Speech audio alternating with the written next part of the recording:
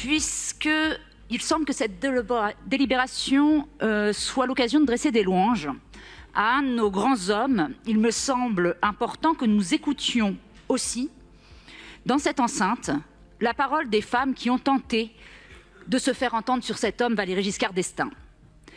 Je voudrais ici rappeler les témoignages d'Ele Thorning-Schmidt, qui fut première ministre du Danemark de 2011 à 2015, et de la journaliste allemande Anne-Catherine Stracke. Ces deux femmes ont dénoncé des agressions et harcèlements sexuels de l'ancien président de la République. Qu'est-ce qui vous pose problème? Qu'est-ce qui vous pose problème? Surtout continuer.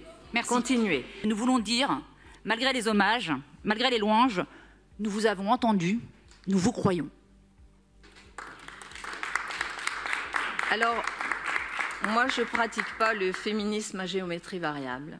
Et j'aimerais vous entendre de la même façon, avec la même vigueur, lorsqu'un responsable politique de gauche explique que mettre une petite gifle à sa femme, c'est une affaire d'ordre privé. Vous m'avez pas entendu, je n'ai pas arrêté de le dénoncer.